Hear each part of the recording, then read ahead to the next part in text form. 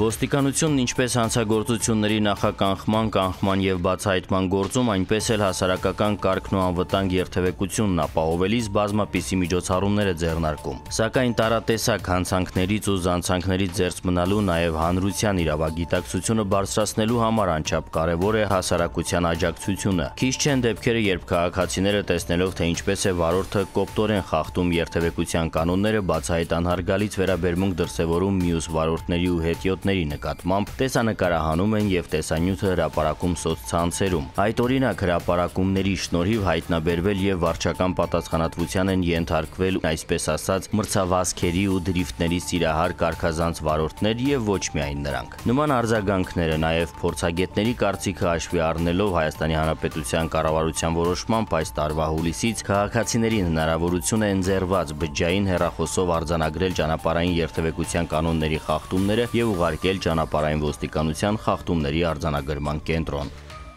Հավելվածները ներբեռնելու համար անհրաժեշտ է Active Society IM կայքում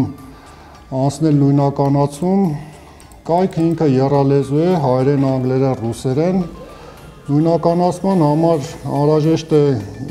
նույնականացման քարտ կամ բջջային նույնականացման քարտ Գրանցվելուց հետո համակարգը պահանջում է ներբեռնել այն հեռախոսահամարը, որը պետք է ներբեռնվի հավելվածը։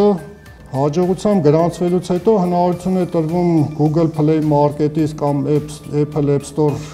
Market-ից ներբեռնել հավելվածը։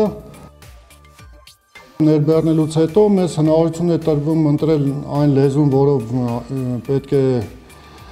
աշխատենք, հայերեն, ռուսերեն, անգլերեն Լեզուն ընտրելուց հետո մեզ պետք է հանրային ծառայության համահանիշով մուտք գործել նորից համակարգ։ Ստացված SMS հաղորդագրությունով համակարգը ակտիվացնելուց հետո մենք ունենում ենք աշխատանքային 3 ռեժիմ։ Տեսանկարահանման դեպքում տեսանյութը պետք է տեսա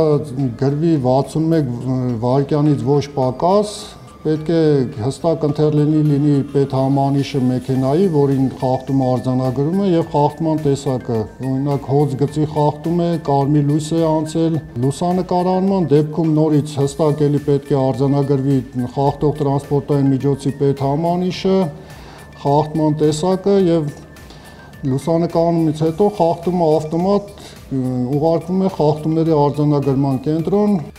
Նշենք, որ համակարգն ինքնին ֆիքսում է նաև տեղն ու ժամը։ Ճանապարհային երթևեկության կանոնի խախտումն արձանագրելուց հետո տեսագրությունն ուղարկվում է ճանապարհային ոստիկանության խախտումների արձանագրման կենտրոն, որտեղ էլ որոշվում է վարորդը խախտել է կանոնը թե ոչ, եւ եթե այո, ապա վարչական իրավախախտման վերաբերյալ արձանագրությունը սահմանված կարգով ուղարկվում է վարորդին։ Օկտատերերին ծանուցումների միջոցով հասանելի է լինում նաև իրենց կողմից արձանագրված խախտումների պատմությունը։ Հարկ է հիշել, որ եթե 1 ամսվա ընթացքում ընթացքում նույն տրանսպորտային միջոցի վերաբերյալ ներկայացված տվյալներով երկու անգամ վարչական տուժի որոշումը մերժվի, հավելվածից օգտվելու օգտատիրոջ իրավունքը երկու ամսով կսահմանափակվի։ Իսկ եթե մեկ ամսվա ընթացքում մերժվի 5 եւ ավելի անգամ ներկայացված տվյալների արդյունքում վարչական տույժ ներկայացնելու որոշումը կամ այլ կերպ ասած խախտումը չհիմնավորվի, ապա այս դեպքում նույնպես հավելվածից օգտվելու օգտատիրոջ իրավունքը սահմանափակվում է երկու ամսով։ Համակարգի գործարկումից մինչ օրս գրանցվել են 100-ից ավել օկտատերեր,